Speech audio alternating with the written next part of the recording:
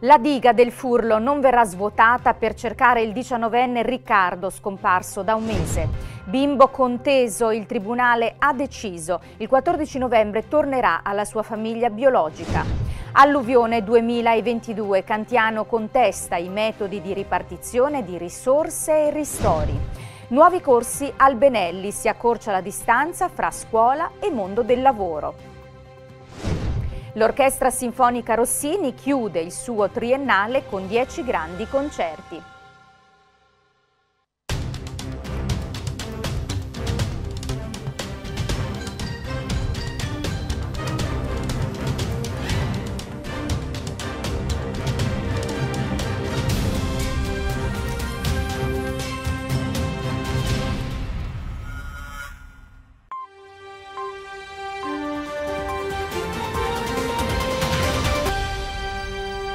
Benvenuti al nostro telegiornale Rossini News. Apriamo questa edizione parlando eh, della scomparsa di Riccardo Branchini, diciannovenne di Acqualagna, è sparito dal 12 ottobre scorso con le ricerche che si stanno canalizzando attorno alla diga del Furlo, dove il giovane lasciò le sue ultime tracce. Oggi in prefettura si è tenuto un summit per decidere dell'eventuale svuotamento della stessa diga richiesto dalla famiglia per dare risposte ad un corpo che non si trova. La diga però non è stata svuotata per i motivi che vi illustriamo in questo primo servizio. Si è tenuto questa mattina il tavolo di confronto tra il prefetto di Pesaro Urbino, i tecnici e le autorità per decidere se svuotare o meno la diga del Furlo al fine di permettere ulteriori indagini nel canale con l'obiettivo di un'ulteriore ricerca approfondita del giovane scomparso settimane fa. L'esito è però stato negativo per motivi legati alla sicurezza e non solo. Il prefetto ha tuttavia ribadito la massima vicinanza alla famiglia, così come la costante ricerca ancora in corso di Riccardo. Svuotare la diga completamente eh, innanzitutto non è eh, possibile perché eh, nella diga continua ad arrivare l'acqua del fiume Cantigliano, quindi non si deve immaginare uno svuotamento come un campo di calcio dove poi si può cercare qualcosa, ma è un luogo dove l'acqua continua ad arrivare. E la diga poi è composta da diciamo, diverse zone eh, che presentano eh, dei coni dei coni molto profondi eh, dove c'è eh, materiale eh, diciamo melmoso che eh, anche qualora ehm, fosse diciamo prosciugata oltre eh, la quantità che è stata già ehm, prosciugata grazie ad Enel durante prime, i primi momenti della ricerca, ma su questo il comandante dei Vigili del Fuoco può essere più preciso, ehm, quindi se fosse ulteriormente prosciugata peraltro di poco rispetto alla, eh, al momento precedente, eh, non consentirebbe comunque, proprio per come è, ehm, è costituita la diga, eh, in quanto non è in piano, eh, non consentirebbe la ricerca dell'eventuale del corpo del, di Riccardo. Quindi eh, lo svuotamento della diga porterebbe a un'esposizione di tutti gli operatori a un, a un alto rischio, eh, ha l'impossibilità di raggiungere dei punti eh, dove il corpo eh, del ragazzo potrebbe essersi fermato, oltre che ha un danno ambientale rilevantissimo in termini di moria di pesce e di quant'altro, ma soprattutto potrebbe non essere utile proprio al nostro fine tutto quello che noi potevamo fare fino a questo momento l'abbiamo messo in atto con tutti i nostri uomini e con tutti i nostri mezzi a disposizione. Quindi le ricerche sono state estremamente dettagliate e eh, attualmente eh, diciamo che non avremo altre possibilità di, di, mettere in atto altre soluzioni di ricerca. Abbiamo eh, ispezionato sia la parte a monte che la parte a valle della diga e quindi diciamo che con tutte le nostre forze e tutto il nostro impegno. Diciamo, dalle ricerche effettuate ehm, non è stato rinvenuto nella, nella diga eh, nessun oggetto di appartenenza di Riccardo, eh, come ad esempio gli occhiali, no? perché se eh, fosse stato rinvenuto almeno un oggetto appartenente al ragazzo eh, poteva esserci a maggior ragione diciamo, la possibilità della presenza del ragazzo nella diga, ma non è stato rinvenuto nessun oggetto, quindi anche questo in base anche al piano delle persone scomparse scomparsa e che è ancora attivo, quindi le ricerche non sono finite, non ci sono più in quella zona perché in quella zona è stato fatto tutto, ma continuano le ricerche e purtroppo se non c'è un elemento nuovo eh, che motivi eh, una ricerca ulteriore nella zona specifica, ovviamente per noi è molto difficile. E restiamo su questo argomento perché il parere negativo allo svuotamento della diga ha procurato dispiacere nella famiglia Branchini che sperava di ricevere risposte da questa azione, come ci spiega l'avvocato della stessa famiglia che continua anche a seguire le segnalazioni in merito alla pista alternativa di un ipotetico allontanamento volontario. Ascoltiamola. A seguito della bocciatura da parte della prefettura di svuotare la diga del Furlo per consentire le ricerche di Riccardo nel corso privato dell'acqua, l'avvocato della famiglia Elena Fabri ha espresso il suo parere in merito, parlando soprattutto a nome dei genitori del ragazzo, testimoniando il loro stato d'animo.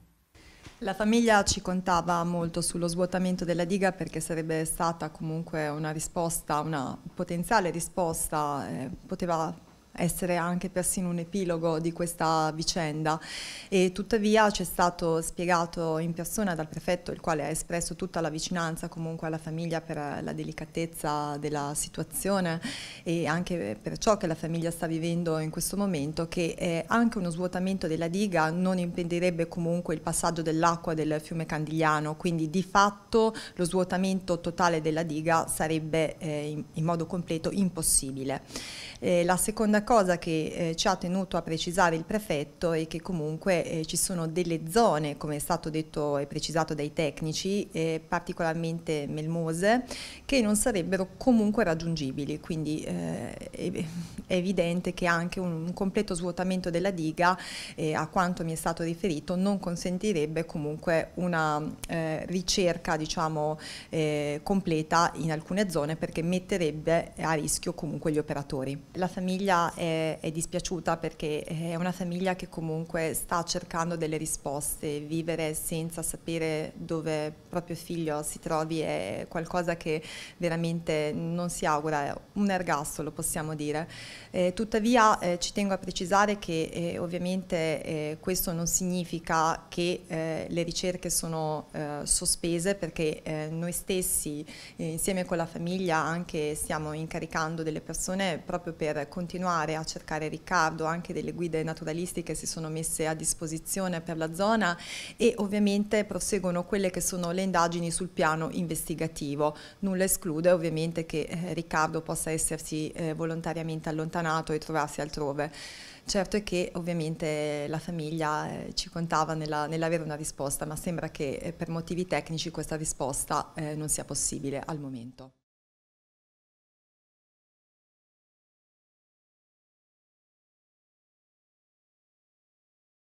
Ed ora ci occupiamo di un caso che a Pesaro ha scosso sentimenti dell'opinione pubblica e sollevato interrogativi giuridici, quello di un bambino di appena due anni e otto mesi che dopo due anni trascorsi con una famiglia fidataria fra pochi giorni dovrà fare rientro alla famiglia biologica come imposto dal Tribunale.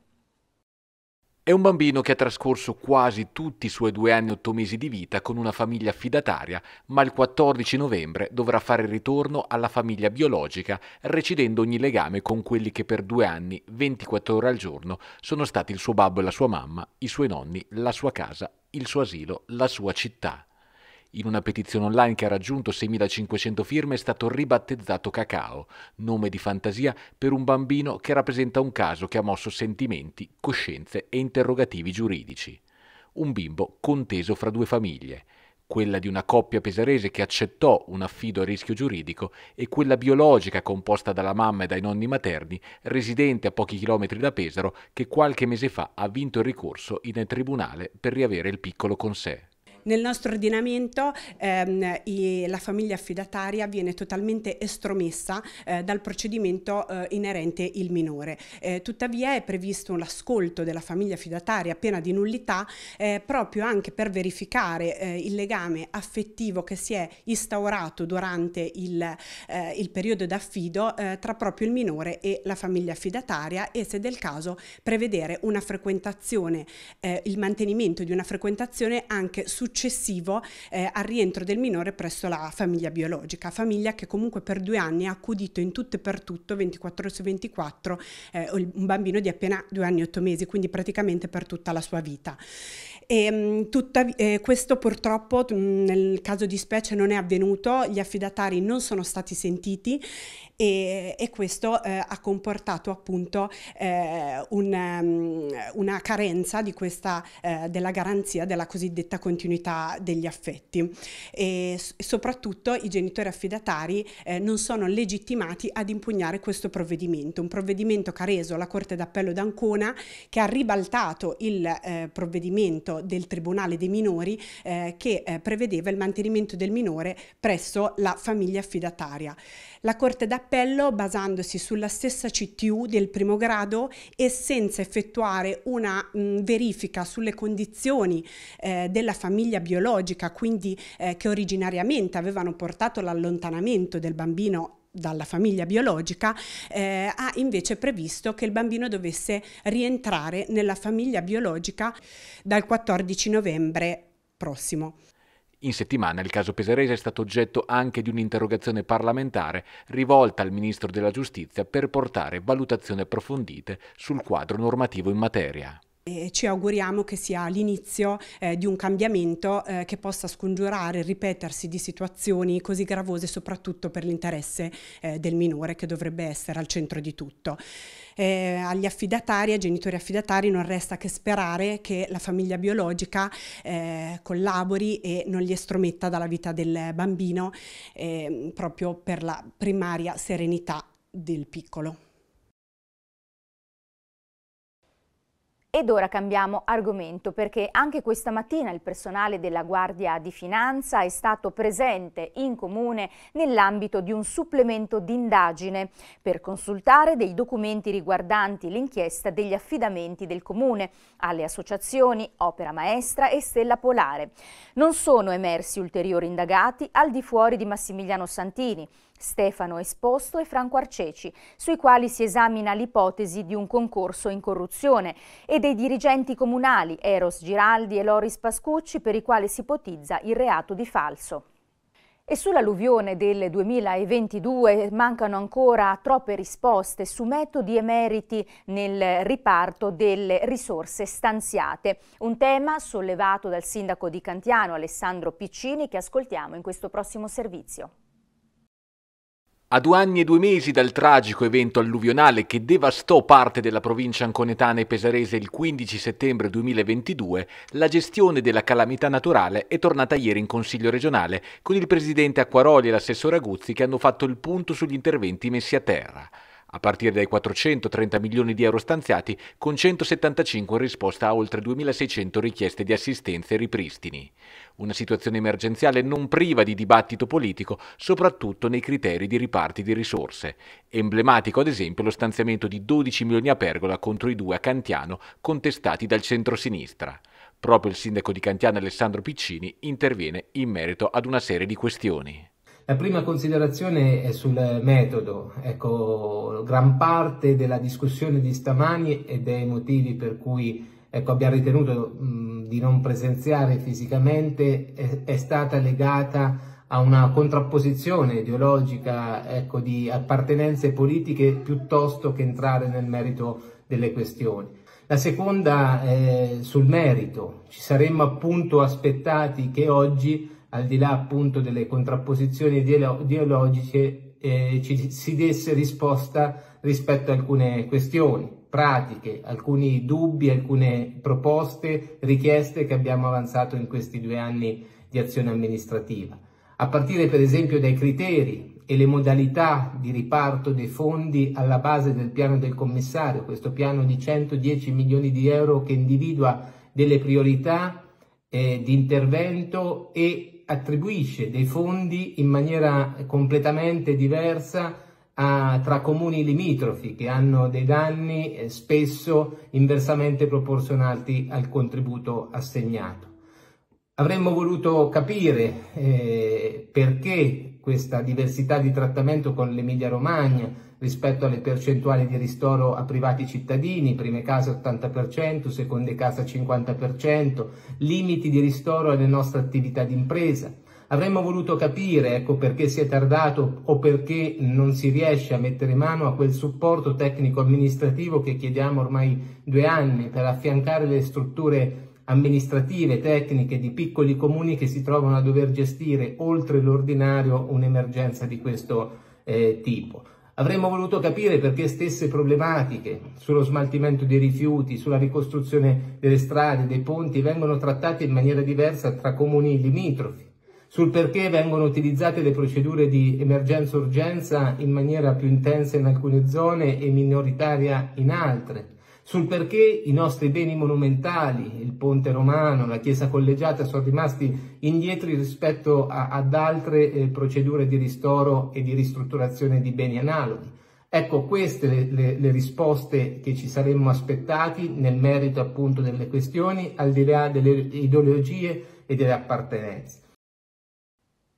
I consiglieri regionali di Movimento 5 Stelle e Partito Democratico contestano l'istituzione della commissione interna sull'attività svolta da Atim decisa dal governatore Francesco Acquaroli che ha messo a capo della commissione l'attuale direttore generale di Atim Stefania Bussoletti chiamata a controllare il corretto operato della stessa Atim diretta nei precedenti due anni da Marco Bruschini.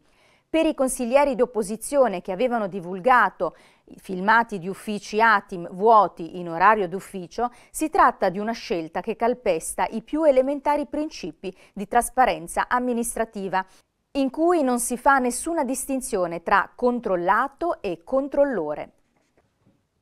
Ed ora parliamo di scuola perché l'ultimo Consiglio provinciale ha stilato la programmazione scolastica 2025-2026 accogliendo l'avvio di nuovi corsi richiesti dall'Ipsia Benelli. Novità che accorceranno le distanze fra scuola e mondo del lavoro e che ci vengono illustrate dal nuovo dirigente scolastico Raffaele Balzano. Raffaele Balzano dallo scorso settembre è il nuovo dirigente scolastico dell'Ipsia Benelli, un istituto superiore che ora ha importanti prospettive anche in ottica futura, infatti lo scorso Consiglio provinciale di Pesaro Urbino ha dato diciamo, l'ok all'attivazione di un ulteriore ampliamento formativo del vostro istituto. Sì, abbiamo richiesto nuovi indirizzi e ovviamente la provincia al momento li ha approvati questi indirizzi riguardano sia i corsi diurni e sia i corsi serali, in particolare abbiamo chiesto servizi sanitari con la possibilità della qualifica poi al quarto al quinto anno e sia nel diurno che nel serale, poi abbiamo chiesto un'attivazione per l'operatore informatico sotto MAT, manutenzione e assistenza tecnica e abbiamo chiesto un corso serale sugli ottici che abbiamo già attivato nel diurno con modalità a distanza. Ecco, diciamo, l'obiettivo è sempre quello di dare la percezione e le basi solide perché questa scuola accorci un po' la distanza con quello che è il passo successivo verso il mondo del lavoro, soprattutto su professioni che hanno un mercato importante. Sì, diciamo che noi il nostro compito è rispondere alle esigenze del territorio, quindi prima di fare queste proposte abbiamo comunque ascoltato le esigenze di diverse aziende e di, di quello di cui avevano appunto bisogno all'interno, quindi di queste professionalità. In particolare per gli ottici abbiamo avuto una proposta da parte di un'azienda che già aveva un elenco di, di persone interessate appunto al diploma come ottico e che già lavorano presso questa azienda, quindi si parla di corso serale. Poi ci sono relazioni importanti per quello che riguarda l'associazione di categoria, università e ITS. Sì, in particolare per il settore informatico appunto, che stiamo attivando c'è la possibilità di attivare un percorso 4 più 2, quindi la collaborazione con l'ITS che si aggiunge a tutte le altre collaborazioni che abbiamo già in corso.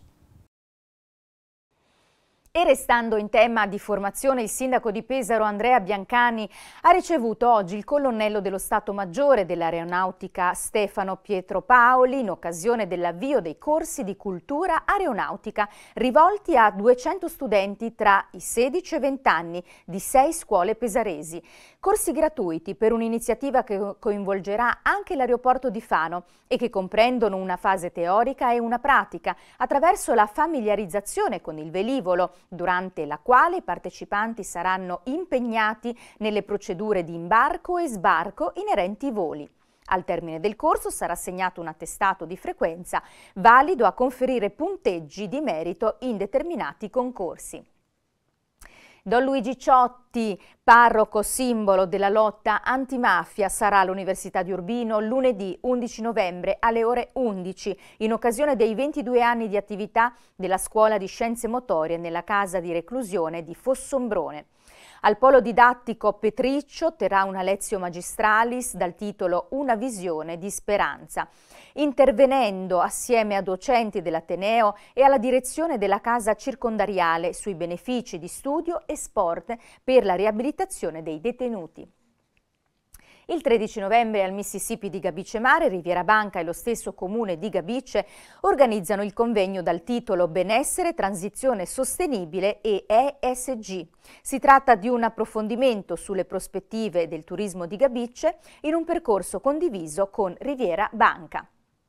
Venerdì 15 novembre all'Hotel Baia Flaminia di Pesaro torna la serata di grande ciclismo, organizzata per la quarta edizione da eh, Fisioradi Medical Center e Ca Virginia, per riunire fan, esperti e giovani promesse del ciclismo in una serata all'insegna di aneddoti e una cena conviviale. A coordinare la serata due grandi voci del ciclismo come Luca Gregorio e Riccardo Magrini che intervisteranno talenti italiani come Simone Velasco, Filippo Baroncini, Gianmarco Garofalo, Maglio Moro e Rachele Barbieri.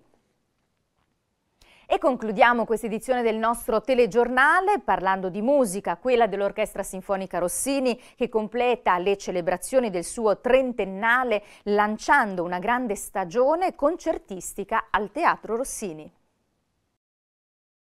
Si comincia il 29 novembre con Ottoni all'Opera nel concerto presso l'azienda agricola De Leiva, si chiude a maggio con la dodicesima edizione del concorso Giovani in Crescendo in mezzo altri otto grandi appuntamenti concertistici che contrassegneranno la stagione di Sinfonica 2024-2025 a mettere il cappello conclusivo al prestigioso trentennale dell'Orchestra Sinfonica Rossini.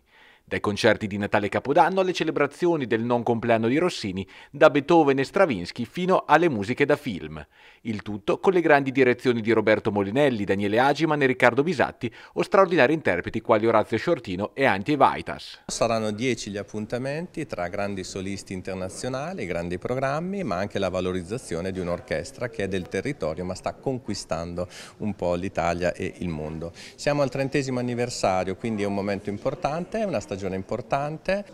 Dal tradizionale concerto di Natale al concerto di Capodanno, una meraviglia insomma non scontata per il primo, per il primo dell'anno, passando ad esempio per eh, l'accento forte che ogni volta l'Orchestra Sinfonica mette sulle settimane del compleanno del non compleanno, come sarà nel 2025 di Rossini, non essendosi l'anno eh, bisestile, e anche eh, l'opportunità con il 2025 che ospiterà l'appuntamento eh, mondiale dell'estate della musica UNESCO di uno scambio che l'Orchestra Sinfonica mette in campo con la Philharmonie del Luxembourg Orchestra, quindi anche un altro scambio internazionale e quindi un appuntamento internazionale della città potrà fregiarsi di questo. Capiamo assieme a tanti appuntamenti come il, eh, le musiche da film riarrangiate da Molinelli, altri appuntamenti con Harry Potter, altri appuntamenti durante la stagione, l'importanza di questa stagione nella programmazione culturale di Pesaro, capitale della cultura, ma anche di Pesaro l'anno prossimo, quando non sarà più nei fatti, diciamo, formalmente capitale della cultura, ma in realtà potrà eh, continuare una programmazione di grandissimo livello grazie allo sforzo congiunto tra Comune e Orchestra Sinfonica Rossini. Sarà il segmento pesarese, quello che presentiamo oggi, ma ne abbiamo altri sette, sono otto più o meno i teatri su cui ci esibiremo in pianta stabile, quattro di taglio medio, grande come Pesaro, Fano, Senigallia e Montecolombo e altri quattro un po' più piccoli come Pergola, San Costanzo, Matelica e Corinaldo. Sarà dunque l'azienda agricola De Leiva ad ospitare il 29 novembre l'ouverture della stagione sinfonica, azienda che nella conferenza stampa di presentazione ha omaggiato il trentennale dell'orchestra realizzando per l'occasione una produzione vinicola dedicata al prestigioso anniversario. A noi come azienda agricola piace sperimentare e avere avuto la possibilità di realizzare questo prodotto esclusivamente per, per l'orchestra che verrà presentato proprio in un periodo storico, perché comunque parliamo del 2024 Pesaro della Cultura e, e l'Orchestra Sinfonica Rossini che festeggia il trentennale, e qua è il miglior modo per utilizzare appunto un buon vino per, per festeggiare queste, queste due occasioni. E anche noi di Rossini TV daremo spazio all'Orchestra Sinfonica Rossini in una nuova stagione di un programma televisivo dedicato proprio ai concerti di questa bellissima orchestra. Intanto però restate con noi perché tra pochissimo eh, potrete vedere un nuovo approfondimento dedicato a Pesaro 2024 in cui si parlerà di questo concorso dedicato agli artisti che avranno possibilità di esporre le loro immagini alla biosfera. E poi in prima serata alle 21 andiamo a rivedere questa intervista che abbiamo fatto qualche giorno fa ad Enrico Rossi, sindaco di Cartocetto, proprio per ricordare anche a tutti voi che domenica ci sarà eh, l'ultima eh, serata, l'ultima giornata di Cartocetto DOP, questo festival eh, che eh, appunto celebra questo importante prodotto. E poi domani vi aspetto eh, con la rassegna stampa, come sempre, puntuali alle 7.20 ma dobbiamo anche ricordarvi che domani torna una nuova puntata di Insieme a Canestro, quindi vi aspettiamo in diretta domani sera alle 21, guardateci perché potrete vincere i biglietti per la prossima partita di domenica. E poi potrete vedere la eh, partita che eh, giocherà questa sera la Carpegna Prosciutto. Infatti questa sera la Carpegna Prosciutto giocherà a Udine e allora noi domani alle 22 vi trasmetteremo tutta la partita alle ore appunto 22 in replica anche sabato alle 15. E grazie per essere stati con noi, buona serata.